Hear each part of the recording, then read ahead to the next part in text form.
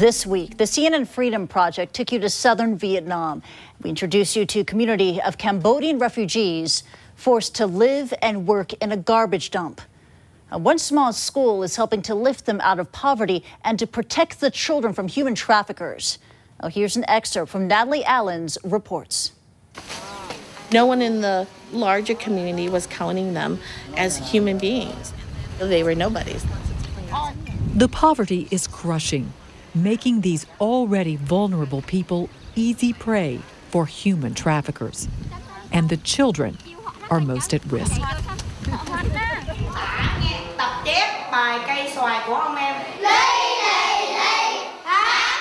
That's why Carolyn opened a school, Catalyst, to educate kids about the dangers of human trafficking, especially girls.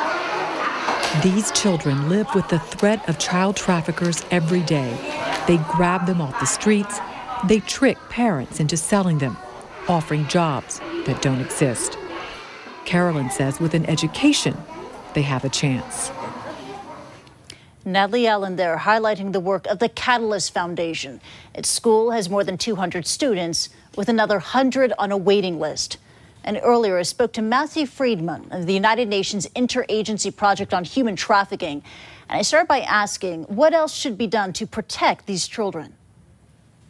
Well, I think the, the idea that there's an organization that's already going and uh, focusing on this is is the first step that needs to be kind of addressed in this type of a situation. Uh, unless people care enough to get involved, unless people care enough to uh, kind of focus on these vulnerable children, it's just not going to happen. Once they are basically identified, what they need is a safe, secure place where they can uh, basically live out their childhood, uh, get an education, uh, be able to thrive like any other child in the world.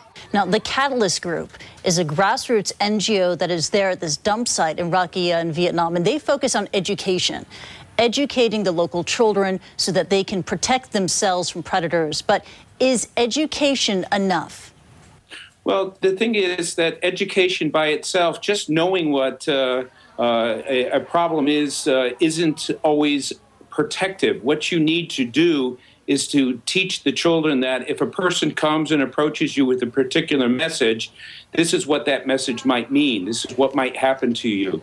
So, offering them the tools and the means and the understanding to protect themselves in that type of circumstance is extremely important.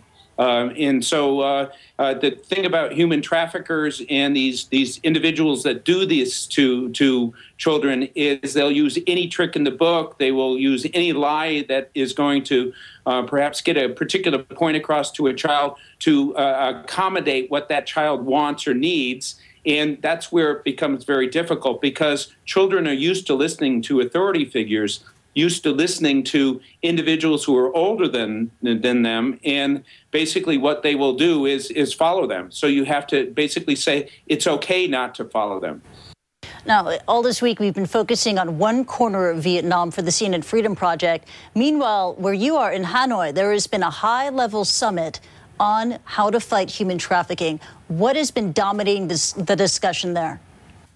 Uh, basically, on bringing the entire counter trafficking community together, led by the governments themselves, going and saying that we ourselves can't do this by ourselves. It's the governments, it's the UN, it's the civil society, and even the private sector. So much of the discussion at this particular conference has been focusing on the unity that needs to exist within the counter trafficking community to identify the comparative advantages of each of these different groups to be able to really make a difference. Know, I read someplace that about a quarter of a million people are trafficked each year in the greater Mekong subregion. This is a startling statistic.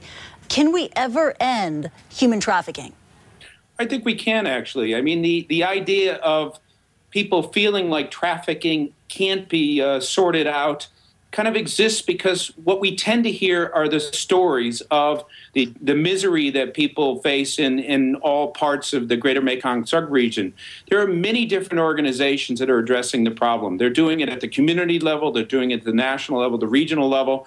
Uh, we are seeing that are combining forces on both sides of the border. We see that uh, more people are being trained to understand what the issues are. We see laws that are being put in place.